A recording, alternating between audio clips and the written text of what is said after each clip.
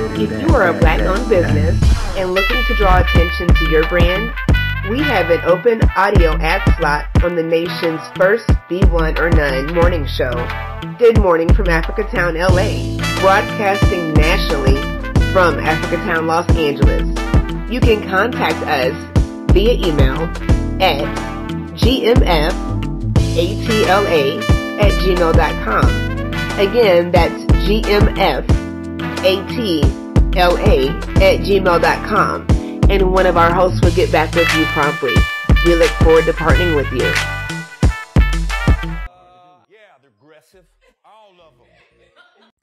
So I just saw this video, you know, of was it Gary Owens, this wanna be funny, wanna be funny comedian, always trying to talk black. He been in a couple of black movies. He never really blew up like he's supposed to. And then he, he had his black wife sit up here and say the N word, calling black men out, calling a black man bitch ass the N word, right? Anyway, how this man gonna sit up here and tell us what we like about our women? I'm looking at the comments and I'm looking at and these sisters, they like, yeah, I agree, I agree. I've been saying this.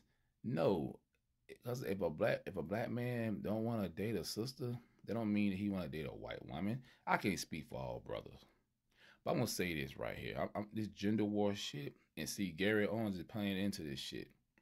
This is not funny because in our community we're going through a lot when it comes to black relationships, the black family, black community, economics, all that. See, people understand that economic stuff. It falls in it falls in the same place of um, building the black family.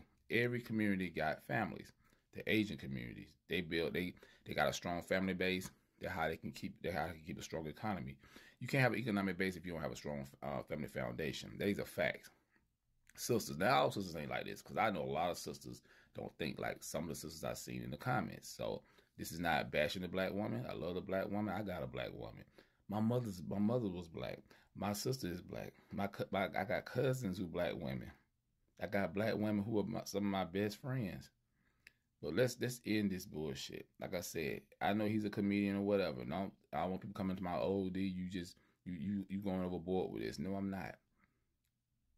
This man can't speak for black man. Bottom line, and a lot of brothers gonna agree with me. A lot of sisters gonna agree with me. You can't speak for all black men. Yes, you got black men that like white women, Hispanic women, Indian, Chinese women, but most black men don't think like this. I'm just setting the record straight. Straight up, we love you, black women. Straight up, we love you, black women. So stop listening to somebody who's not black.